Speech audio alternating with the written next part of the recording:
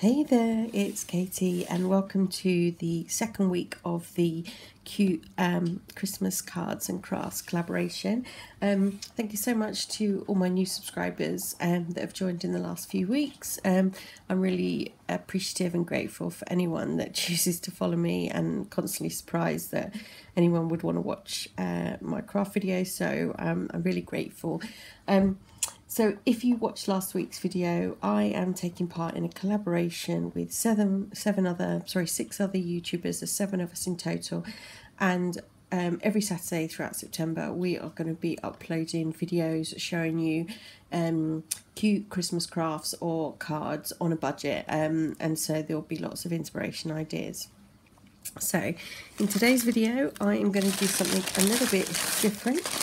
Um, this uh, cute box um, which has a slight magnet to it. This um, I purchased um, recently at a charity fair or um, thrift store actually. Um, it was one pound and uh, considering the size of it um, I just thought oh this is really good I can definitely use this and customize it. So I have an idea of what I want to use this for. Um, so um, follow me on this journey. So first of all, I'm going to, I want it a lot paler, so I'm going to cover it in gesso.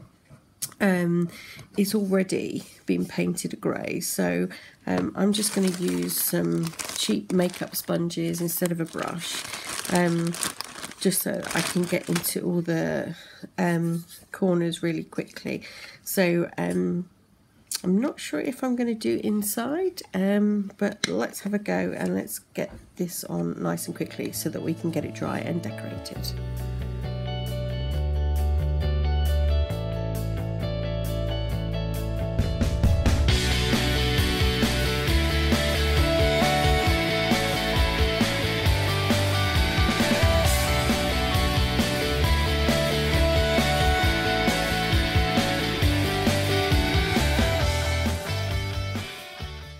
I'm back. So, um, this basically, this box um, has been gessoed in and out with white gesso. And um, I actually left this overnight to dry because um, I put a couple of coats on it and it was quite tacky. So, um, tacky, tacky to touch and quite sticky. So, um, I thought I would give it 24 hours. So, I should tell you what I'm going to do with it now. Um, so basically, I was thinking about what cute Christmas crafts could I show you on YouTube, and I really like upcycling things as well. So as I said before, this box was cost me a pound in the UK. Um, and what I was thinking is um, in the UK, and I'm not sure if they do this in the States, but there is a service that you can pay for um, where your child can write a letter to Santa and you'll get a reply back. And of course, there are store Santas near Christmas. And one of the problems that my friends always have with their children is that the children really seriously confide in Santa, either in the letter or it, with the store Santa telling them what they want for Christmas. And sometimes it's really hard for the parents to find out. So I was thinking of those parents that can't afford to pay for their children to see Santa or can't afford the service to get a letter from Santa, how else could they communicate with Father Christmas and let him know what they would like whilst helping their parents out as well? So, with this box, I thought this would be perfect as a little post box for Santa.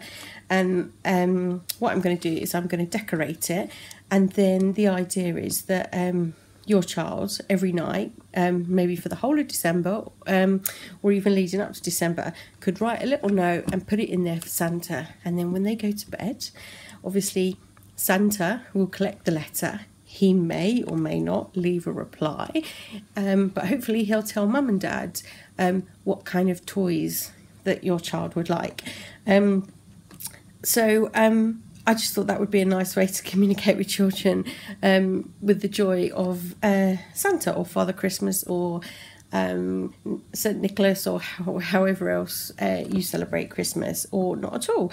Um, also, alternatively, you could just decorate this as a box. Um, you could put felt inside and put sweets or treats or, or anything. Um, the reason I came up with this particular idea was that when I was little, um, I've heard this being done elsewhere, but I don't know many people that had this done. But um, when a tooth would fall out and I would leave um, my tooth under the pillow for the tooth fairy, I would also write a letter to the fairy. And um, I always got a letter back from um, usually a different fairy each time, and they would write in the smallest of, of handwriting. And um, they would always tell me what they would carve my tooth um, to be, whether it was going to pave um, the way up to one of the fairy princesses' castles, or whether they were going to use it as a bird bath. Um, and I just love that I have um, a handful of these um, special letters from the Tooth Fairy, or several different Tooth Fairy, because obviously there's not one, just one that works. Um, there's a whole team of them. Um, and I just thought that would be a great way to kind of replicate that for Santa. So, how am I going to decorate this? I've just so it just to give it a good base, and I've gone through my stash and I found this very cute tissue paper. Now, I was actually looking for a Christmas napkin um, that I could Mod Podge this over, and I did have one with Santa on, but I can't find it. But with these reindeer and obviously some with Rudolph on, um, I think this will go really well um, and keep in the spirit of writing to Father Christmas. So, um, yeah, I'm sure if uh, if you get paper napkins at Christmas, you could use any of those or any tissue paper. You could go for something quite um, plain coloured and then just jazz it up with anything else. So I'm quite grateful that um, thanks to Carolyn, um, one of my friends, um, she sent me some of this in some happy mail. So let's get going.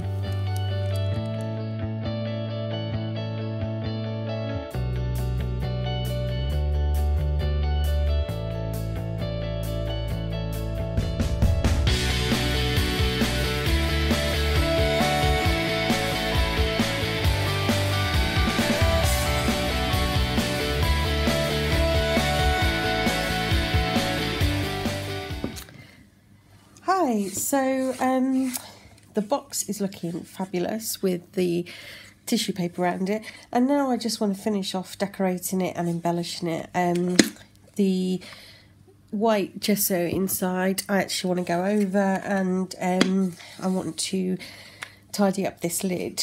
So, what I'm actually going to do is I'm going to use some Inca Gold and actually use the gold colour for Christmas because I think that works well with um, the reindeer tissue paper. Come on, Munchkin. Oh. Um, obviously, not everyone will have this product, um, but um, you know, you could use um, anything else to decorate this. You could use some more tissue paper. Um, you could just glue some coloured card onto it. You could use any paints. Um, really, the kind of budget idea that I wanted to share with you is this idea of um, you making a Christmas decoration and the whole idea of writing a letter to Santa um, and saving a bit of money um, by having this kind of extra way of your children talking to Father Christmas. So um, all I need to do is get this going. So um, I will pour a little bit of water into the it's a little bit more than I was expecting. And uh, I'll then put this on uh, time lapse so that um, you can watch the process sped along and I'm just wary of Munchkin making another appearance. Um, because we've got a bit of rubbish on the table and she's a devil for that. Um, okay, guys, so um, continue watching and let's see how we get on.